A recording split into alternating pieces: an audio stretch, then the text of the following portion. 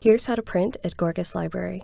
First, you can only print from one of the library computers, so make sure you've saved your document to the cloud, OneDrive, Google Drive, or a flash drive, and make sure you have either your ACT card or a community user card with BamaCash available. Log on to any computer using your full UA email address and MyBama password, then open your document and select File, Print.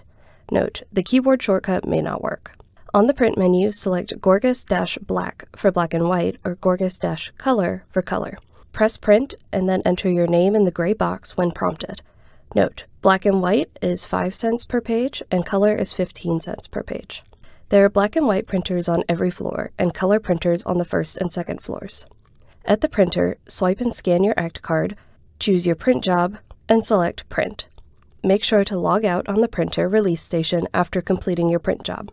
If you need extra assistance printing, you can always ask at the information desk on the first floor or the circulation desk on the second.